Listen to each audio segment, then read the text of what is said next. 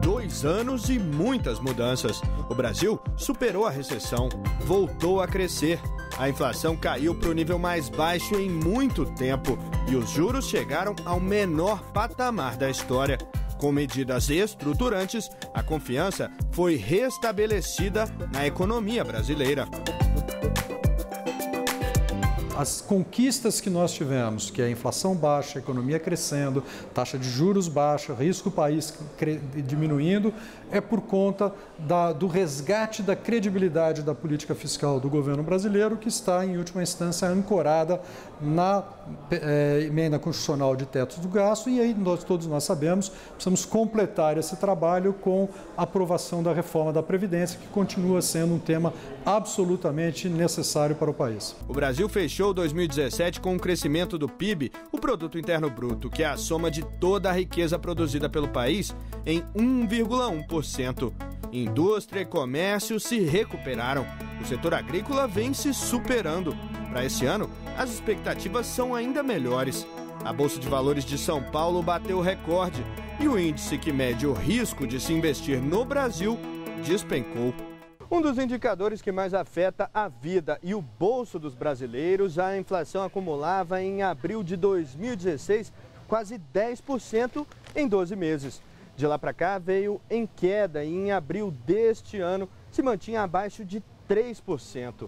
Em 2017, inclusive, o preço dos alimentos caiu.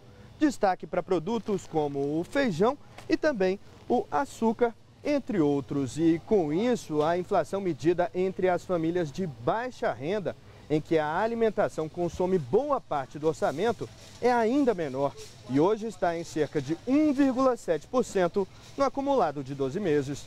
Inflação baixa significa que uma vez reajustado o salário, ele compra muito mais produtos do que no caso de inflação ser muito alta.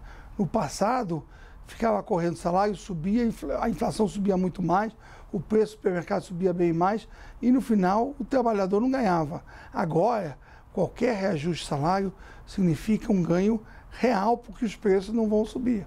A queda da inflação abriu espaço para o Banco Central reduzir a taxa básica de juros, que é uma referência para toda a economia.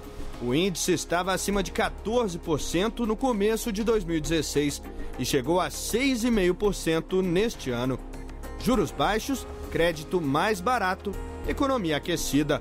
Para esse empresário que produz doces, um cenário que vem ajudando na expansão dos negócios. Hoje a gente está produzindo já para 19 estados do Brasil, né, 19 estados brasileiros, e a gente está com o intuito de entrar nos 27 estados brasileiros ainda este ano, né, para o ano que vem a gente focar em exportação.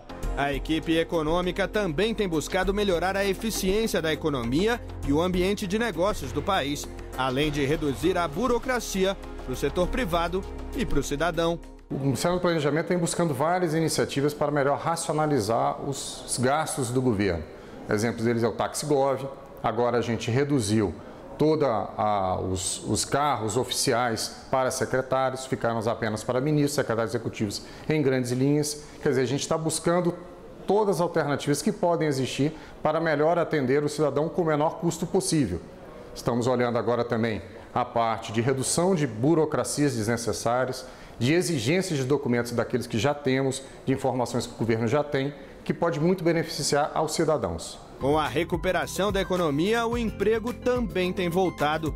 Nos três primeiros meses do ano, foram criados mais de 200 mil postos de trabalho com carteira assinada. Esse empresário e cabeleireiro que investiu e contratou durante a crise vê agora ainda mais chances de crescer. Nós começamos um salão pequeno, tinha cinco funcionários.